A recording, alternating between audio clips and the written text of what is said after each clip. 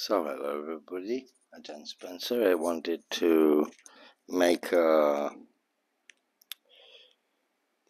another podcast about Lek Lai because although I've published much in my ebooks and on some blogs and websites, a lot of people still have questions.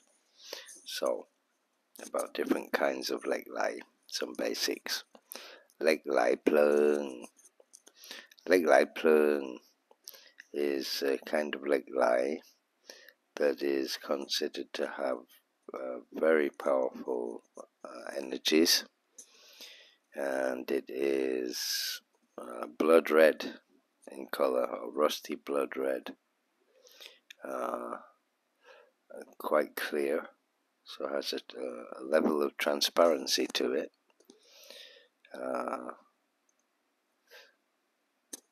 Uh, sometimes there'll be a tone of um, what we say in Thai, it Mon means uh, Mon is a kind of hill tribe, the kind of clay bricks they use, which are kind of orangey red clay. So um, you see that tone, that color in it, and uh, uh, it's not preferred to have it inserted into your some Lek Lai people have it inserted under their skin in their bodies. This kind of Lek Lai is not recommendable to do that with because uh, it has a very very hot fiery elemental. Plerng actually means flame. So it means flame Lek Lai fire fire element Lek Lai so you shouldn't actually um, insert that which is one Thai Buddha magic ritual and magical uh, spell. Like the golden needle to insert it inside and it moves around inside your body. Yeah. So uh, it's believed that this kind of Lek Lai uh, will uh, absorb heat uh, from the it absorbed its heat or it, uh, it received its heat. It received its heat power through absorption uh, from the center of the earth so from the lava in the center of the earth.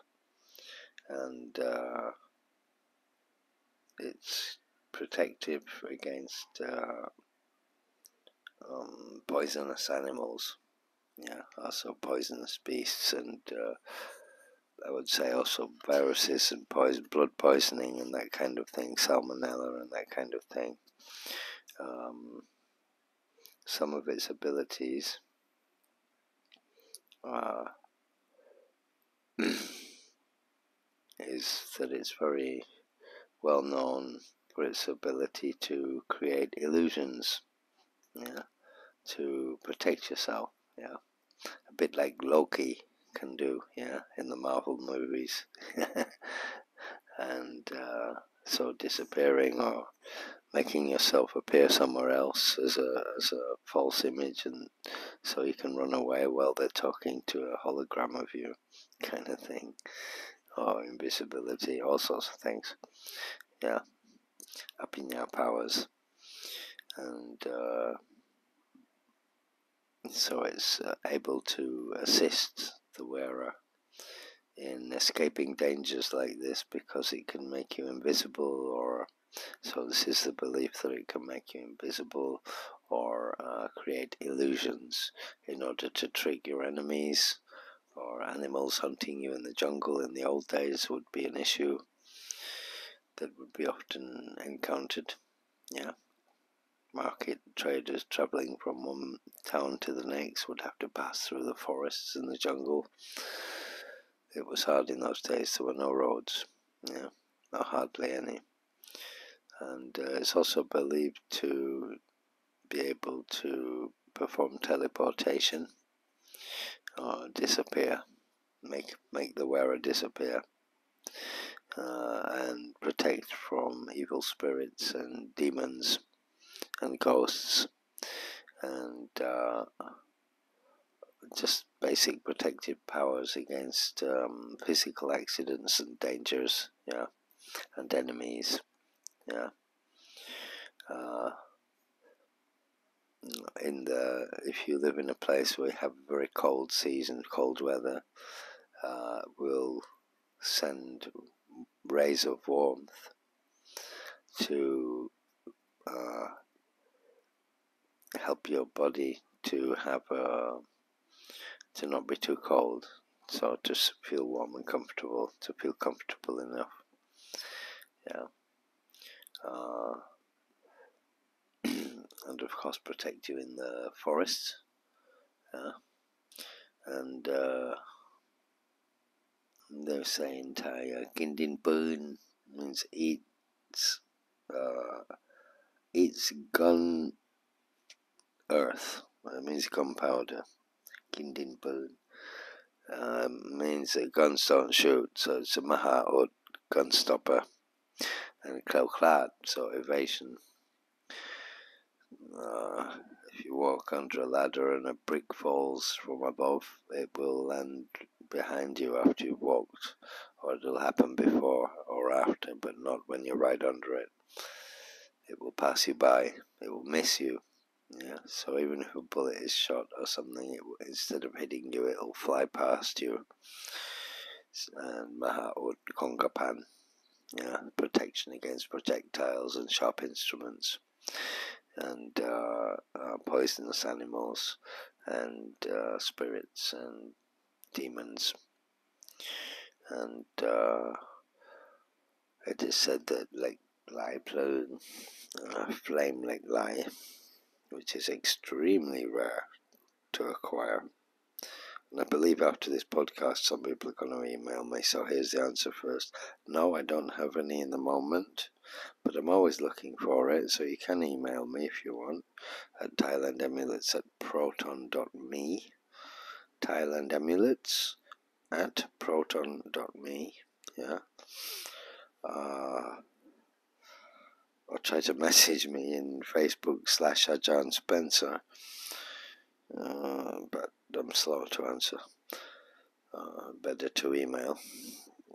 Um, then I can put you on my list in case I find somebody. It is very, very rare. Lek Lai these days is almost absolutely impossible to find. I'm on my last three pieces now after having a large batch and over the last years they've all gone. And over those years I've sought more out. Not possible. It's possible when it's possible but you never know when that's going to be. And when the miracle's gonna happen because like real Lek Lai is the only Lek Lai I accept buy or sell which means I've had to go a few years without being able to buy any more because the lie I've seen I don't consider lie so Lek Lai flame lie I'd say it's a I gave the Thai explanation of its color. It's I'd say it's very much like um, a browny red, semi-transparent stone. Yeah, it looks like a Buddhist blood blood relic a little bit actually, but it isn't. It's like Gleipleung, yeah, from the cave, and so um, it is fire element. Yeah, and. Uh, that's just one of many kinds of Lek Lai. So the next time I will be doing uh, a slight synopsis and explanation of Lek Lai. Means uh, Lek Lai, uh, Chinese silver. And Yuang, Yuang is a kind of tribe, a kind of ethnicity, Chinese ethnicity. So Yuang. Uh, or maybe like Vietnam Chinese kind of. Anyway, I'll explain that in the next podcast for the next kind of Lek Lai. So this will be uh, kinds of Lek Lai, part one. Yeah, and that was Lek Lai Plerng. And Jesse can email me if you want, and I'll put you on the list. But I don't know how long it's going to take until I find some because I've been looking for quite some time. So, a Ajarn Spencer for the Buddha Magic Project, ThailandAmulet.net, AncientAmulet.com. Please support my websites. Can read my crazy blog on ajarnSpencer.com, but don't think it's amulets or Buddha magic. Some of it is, but it's everything because that's where I allow myself to talk about anything I want. But uh, please support my websites at least and share them if you like this podcast and uh, subscribe if you want to be notified for the next episode, which will be Lek Lai and Yuang, which is a silvery Lek Lai. Yeah, after that I'll be doing other forms such as Lek Lai Nam, Lek Lai Piak, and uh, Kot Lek Lai Ngok, and some other kinds, yeah. And then I'll go on to other kinds of sacred substances. So I'm probably going to put this in two playlists, a Lek Lai playlist and another playlist for Muan San, Sacred Ingredients, on my youtube.com slash Ajarn Spencer.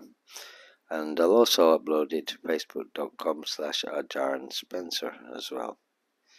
So, Ajarn Spencer, for all of those channels and websites and places, and myself and for you, hopefully this was a little bit informative about the first kind of Lek Lai. I think it's good to learn separately so you can remember Lek Lai Plerng, fire element Lek Lai. Very rare. Don't have any. Looking for some. You want some, let me know. I'll put you on the list. So just been signing off.